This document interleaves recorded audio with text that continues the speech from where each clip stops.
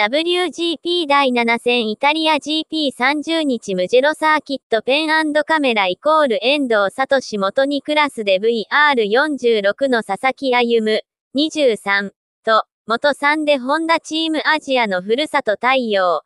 18が揃って雪辱戦に燃える。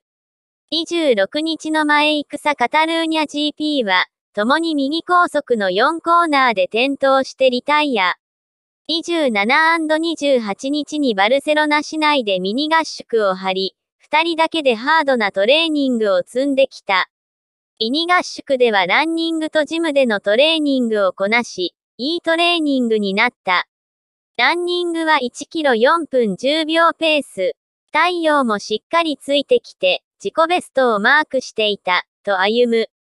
今季初の連戦に向け、一緒に汗を流して悔しさを吹き飛ばした。共にムジェロは得意。昨季は元3で3位表彰台に立った歩夢は、元に初ポイント獲得を目標に掲げる。